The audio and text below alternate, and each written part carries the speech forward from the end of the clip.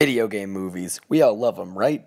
Okay, well, not really, but before I talk about how bad video game movies are and why they're bad, here's a list of good video game movies. Assassin's Creed perfectly adapts the game it's based on, for better or worse. This movie is so fucking hilariously cheesy, it's just great to watch. But if you want a serious Street Fighter movie, you watch the animated movie based on Street Fighter 2.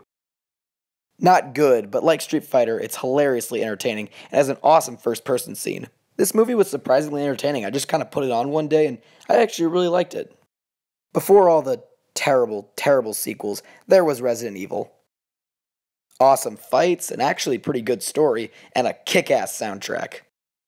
Hey, look, a video game movie that's actually a good movie.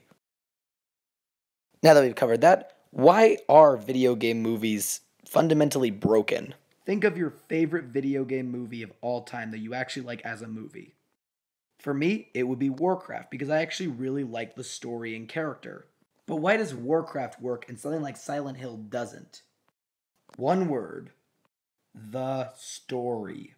Mario Brothers doesn't work as a movie because it has no story. We should be adapting games like Metal Gear Solid into movies.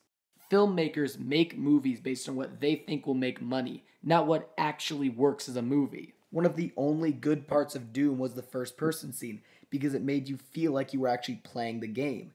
But it also made you want to go and play the game rather than watch this shitty movie. So before you make a movie, filmmakers, think for a second does this game have a strong enough story to actually fill an hour and a half long film? Legend of Zelda.